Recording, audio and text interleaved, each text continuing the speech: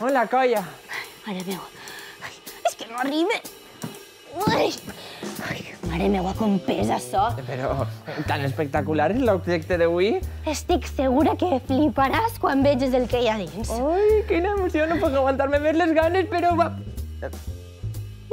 Sabia que et quedaries sense paraules. Però, però, una ploma? Laia, pardals hem de cuidar-los, no llevar-los les plomes. Tranquil, tranquil, Pau, que així cap animal petit, això faltaria. El que has de fer és pensar un poc més per a què serveix. Una ploma serveix per a volar, però ens en faltarien moltes més. Ai, Pau, estàs molt, però que molt perdut. Vinga, va, dis-me una pista. Una pista... Ah! Vols? Te la dicte.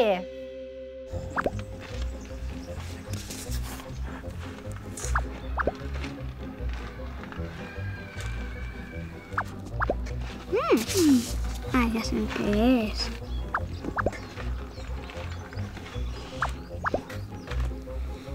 Una ploma d'escriure de, de l'antigüetat. Perquè com no n'hi havia bolis, doncs, per exemple, gastaven esto. Com el llapis, però, però escriu negre. Pues li ficaven tinta al punxo i escrivien. La mulles en tinta, Mies en tinta i pues escribes. del pardal, Un búho.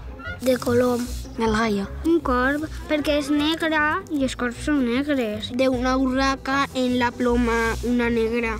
Això no ho havia vist mai. Jo sí que ho havia vist. Pues en pel·lícules, dibujos... Sí. Veig vídeos sobre lo que vull aprendre i moltes vegades veig del Renaixement. Que és la pel·lícula de Doraemon. En pel·lícules. Ai, mare. La tinta eixa se m'anirà de la roba? Ah, saber.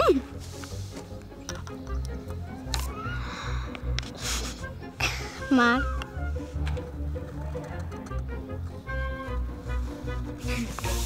Eh, eh, ja caigut la gota. Colla. Hola, colla. Li em posem esta tinta. Per mi la pluma. Està xula. Sí, i per mi. He tocat un poc. No fa falta ja perquè com ja tenim llapisos, rotuladors, colors i tot. Jo preferís també un llapis perquè escrius millor i no costa tant. Mai he sabut escriure en eixa ploma en color. A mi m'agraden més els bolis perquè no tinc que mullar en tinta cada volta. Entonces ja no fa falta. Una cosa és que a tu t'agraden aquestes coses antigues, que te compres una o te fas una tu en algun tutorial o algo. Sí. Però de normal no es gasta tant. La ploma és un instrument d'escriptura fet amb l'ala d'un au de gran tamany, com pot ser un signe, una oca o un tito, i que usa la tinta per a deixar el trast de l'escriptura.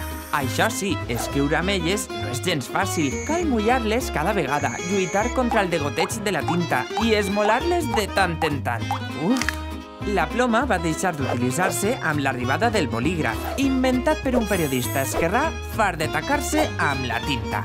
Un invent molt més pràctic i econòmic, la qual cosa va provocar que tot el món en tinga un o més d'un, perquè tenen prou habilitat per a perdre's.